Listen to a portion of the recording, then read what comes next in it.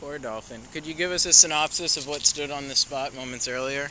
Well, you see, it was Garret talking about AKPF while riding not just any dolphin, but the pro dolphin. And I guess some people just, some people just think it's all right to destroy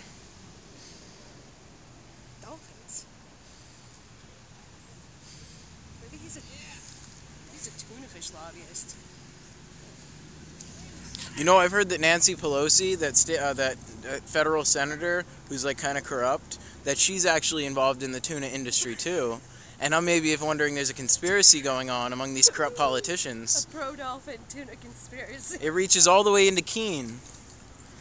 Well, this is the aftermath. This is the proof of the. No. Just the senseless murdering